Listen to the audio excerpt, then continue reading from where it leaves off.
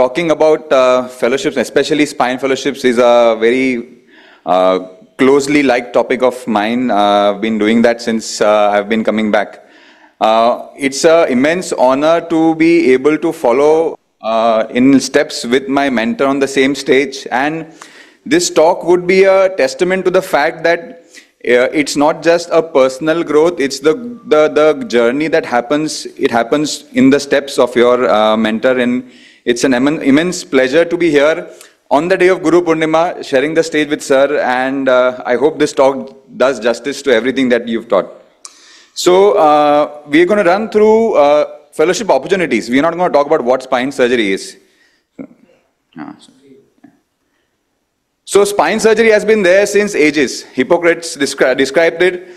First lumbar laminectomy was done in 1829 and since then we have significantly evolved We've come to modern techniques. Everybody now looks at how small the incisions are, what endoscopy is, what tubes are, what minimally invasive surgery is. We've even come to modern technology. You know, we have the O-arm, the robot, the navigation. And training should be something which incorporates all of that into your armamentarium of working. So the any any any place you work at or any place you train at would need to imbibe every facet of spine surgery into your skill set.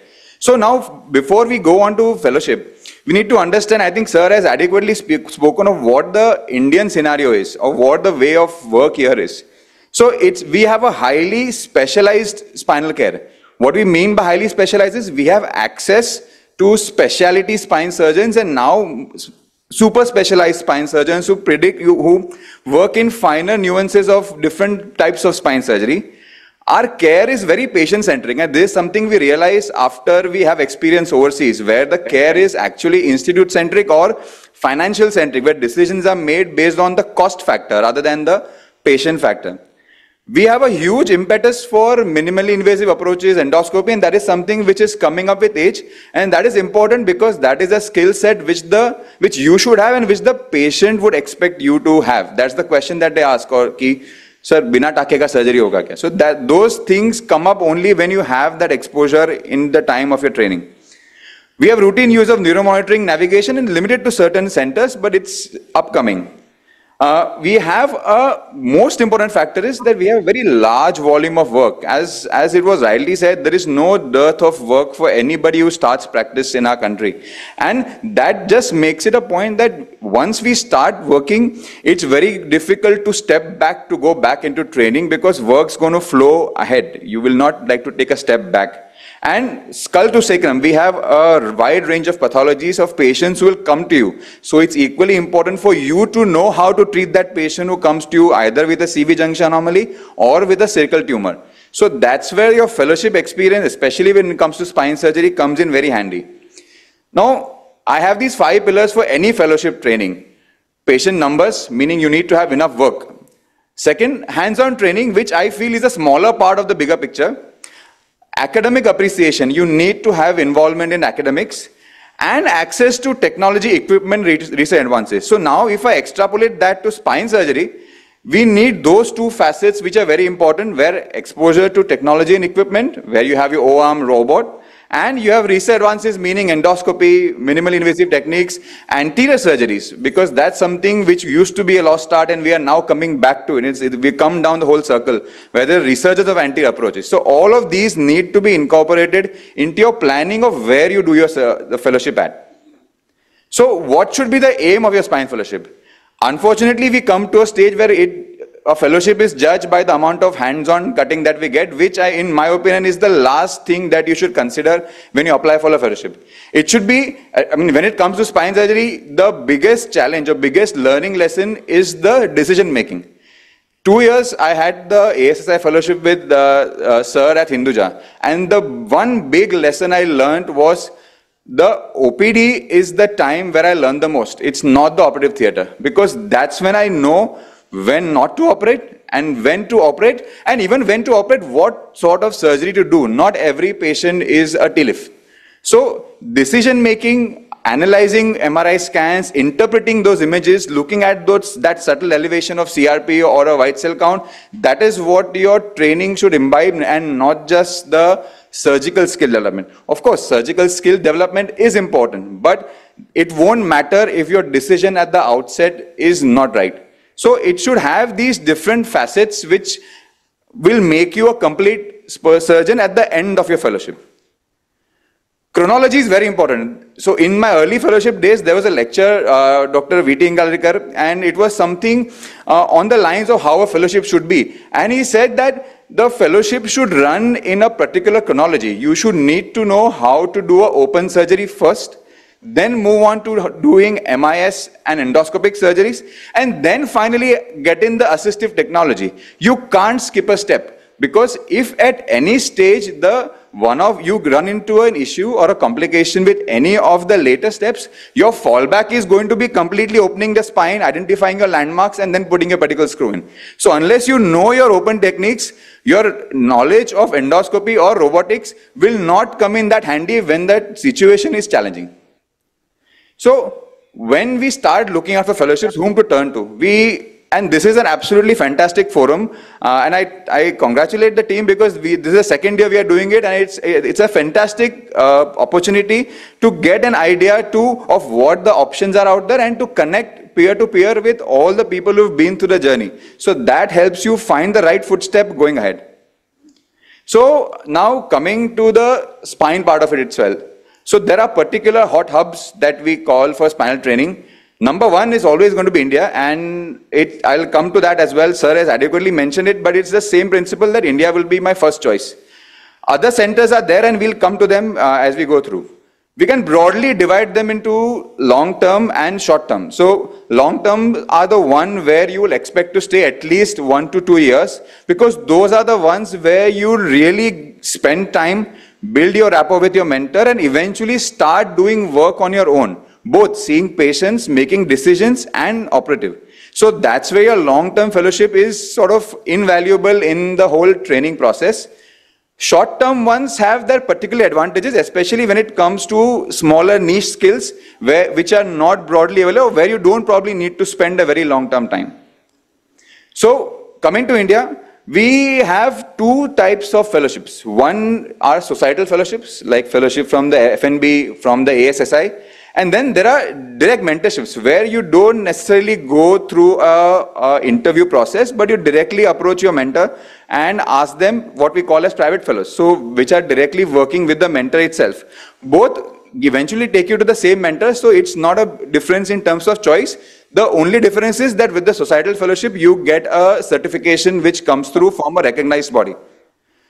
The biggest advantage that we have in terms of spinal training in India is the academic appreciation. There is massive amount of educational activity which goes on from all the societies. So from Bombay Orthopedic Society, BSS, ASSI, we have conferences and events probably happening every weekend along with specific fellowship, fellow training courses which the BSS runs. So the amount of exposure that you get, and trust me, this is going to be, this is much less when you go overseas and much more expensive when you go overseas to attend these courses. So we sometimes undervalue what we have till we see the other side. So the academic appreciation that we have is immensely huge when we are practicing or when we are learning in our own country.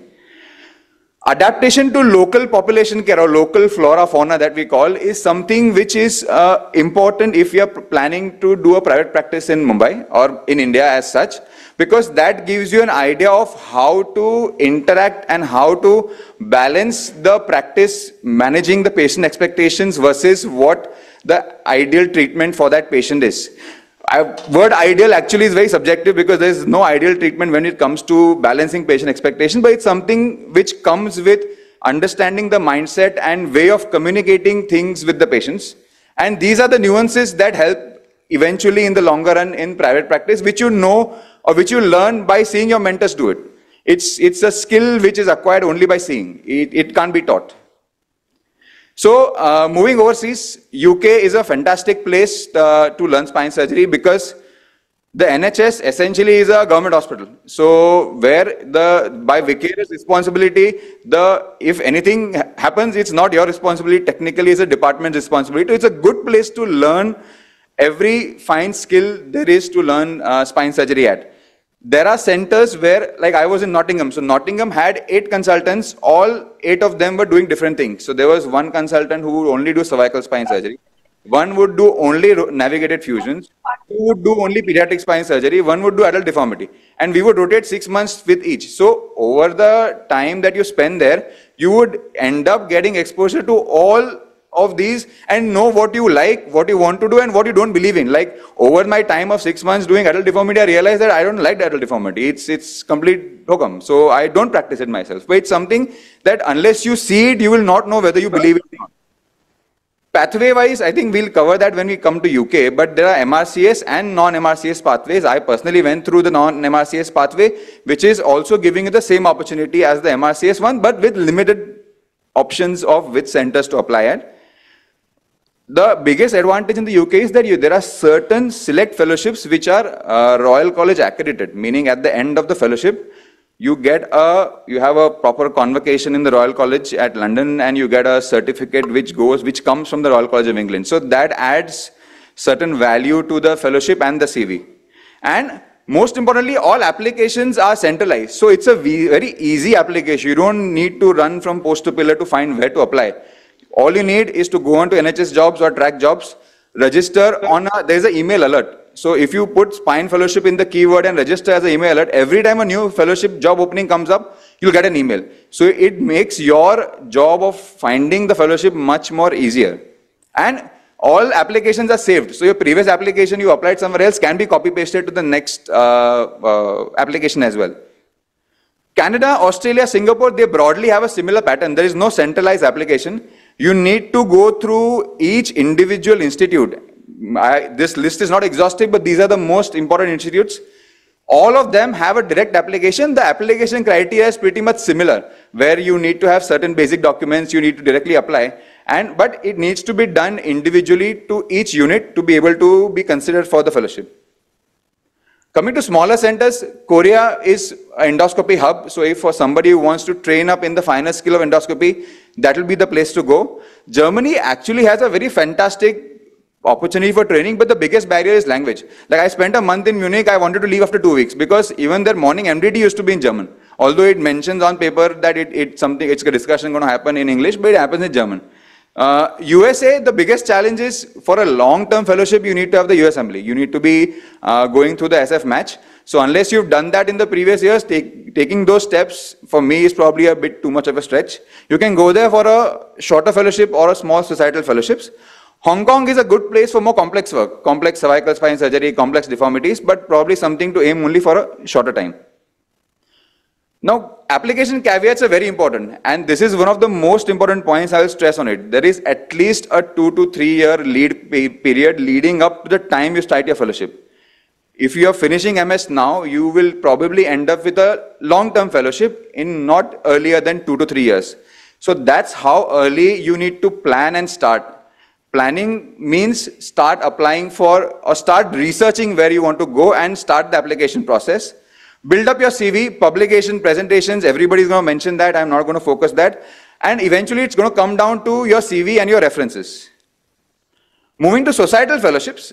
So we have the fellowship from the ASSI, which is like, for me, is the benchmark of what the Indian training is. It's a two-year structured fellowship. It's very comprehensive because the centers that offer the fellowships have an immense amount of spinal work, again, skull to sacrum work, so you get exposure to everything, and the mentors are fantastic. Uh, this is a last year's uh, ASSI brochure, but this year we've added a couple of more centers as well. But usual deadline for application is around June to July.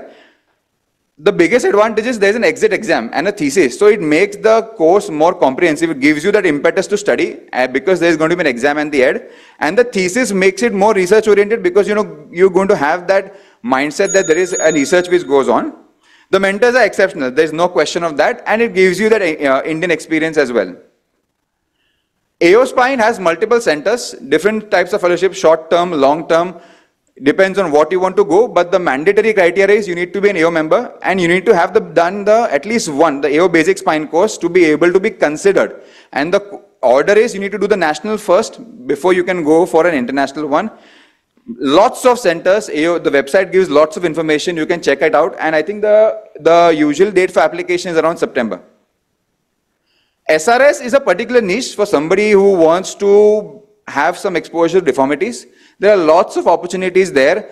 All of them are usually short term, so four to six weeks, and I think four to six weeks for deformity centric fellowship is more than enough. There is a particular educational grant that they have, called the last one which I mentioned, Global Outreach Program. That is something which I would highlight on because that gives you the funding to be able to attend the SRS annual meeting uh, or the IMAST for fully funded. So that is something which all of you should apply for and actually the application process is online and quite simple. The other the other institutes also have the similar principles, SICOT, APSS, IOA, ISA, all of them individually can be researched, but it's broadly on the same principles.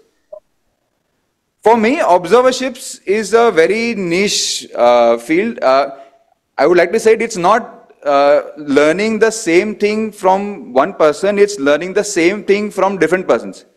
Because eventually it is you who has to make your mindset of how you want to practice or how what you want to do to your patients. So observership gives you that ability to have a wider audience without needing to spend more time there. And the second biggest advantage is there are certain skills which we won't want to spend long time on. So it helps you get that fine tuning in your practice, get that finesse and the finer skills after you finished your broader training. So observership does have a vital role, but you need to time it perfectly of when you want to go and where you want to go. Now, this is my journey since I finished and over the past eight years, through finished and going through a short observer recording started. Hong Kong. After which I did my ASSI fellowship in Hinduja with sir. Then two short fellowships, one in uh, one SRS fellowship with Dr. Recording करून ठेव. मी चाललो. One fellowship इथं लाव. इथं लाव. Eventually ended up in charging fellowship, then an associate consultant and a locum consultant. Of course, being does matter. COVID hit, which made one of the consultants leave, which gave me an opportunity to become a consultant there but you will not get the luck factor if you're not there. So it, it's the, taking that first step is most important and taking that first step as soon as you can is most important. So if there are some take-home points from that journey, most important is define your goal. What you want from your fellowship and what you want your end point to be because that's how you can't start blind. You have to have a goal at the end where you want to be at the end of your training and accordingly start shortlisting your centers because researching your centers and reaching out to the colleagues colleagues and eventually even the the fellowship directors because un unless what we, we directly have a direct reference you will not be able to push through. Plan ahead keep a value of time. 2 to 3 years is the lead period so that has to be pushed through as early as you can. Robust application is very key. We'll come to application uh, talk as well. And in Indian training it comes to us, foundation to build everything else. Thank you.